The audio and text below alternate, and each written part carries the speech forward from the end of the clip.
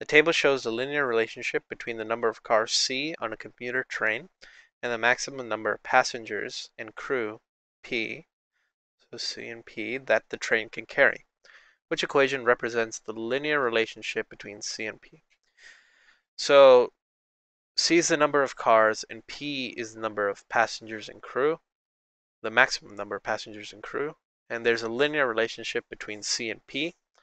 So a linear equation is of the form y equals mx plus b, where m is the slope of the line and b is the y, the y value at the y-intercept.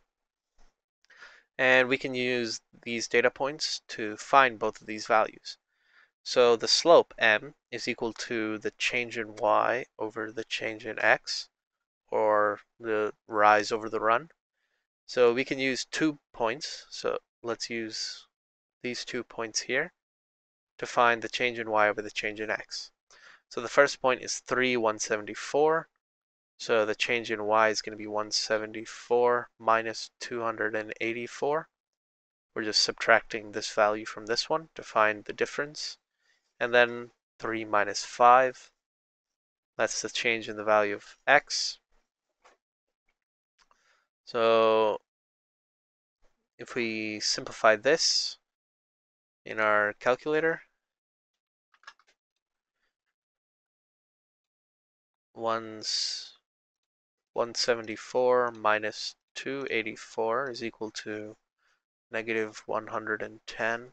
3 minus 5 is equal to negative 2. And if we simplify that, that's just equal to positive 55. So the value of the slope is 55. Now to find the value of b, we can just use one of these points and plug them into our current form of the equation. We have y equals 55x plus b. We can actually also rewrite this to use the variables of the equation.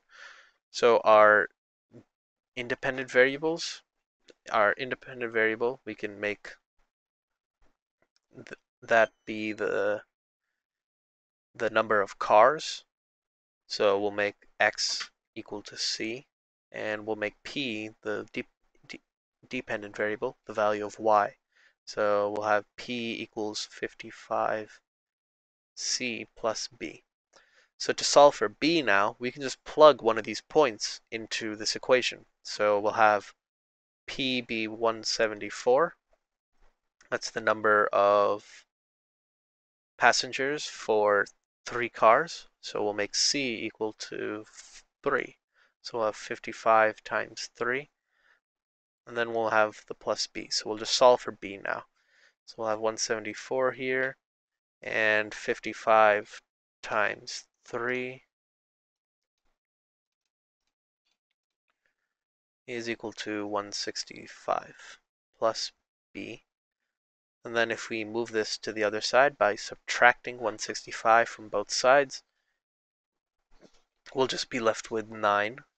So the value of b is 9. So now our final form of the equation, we can replace this value of b now.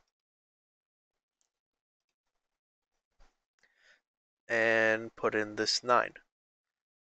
So we just found the slope using two points and finding the change in y over the change in x. And then for the value of b, we just plugged in a point. So we just use the first point here for a value of 3 for c. The value of p is 174. And we just plug that in and solved for b. So we got this equation here. But in order for it to look like one of these answer choices, we have to rearrange this equation. And it seems like they moved c and p to one side of the equation and left the constant on the other side. So we can do that simply. So we'll just have the p over here, but we'll subtract 55c from both sides. So we'll have a negative 55c plus p equals 9 on since the 55c is now on the other side of the equation.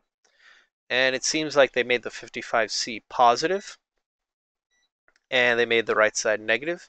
So we'll just multiply the whole equation by a negative 1. So we'll have 55c minus p equals negative 9. And that is equivalent to answer choice A.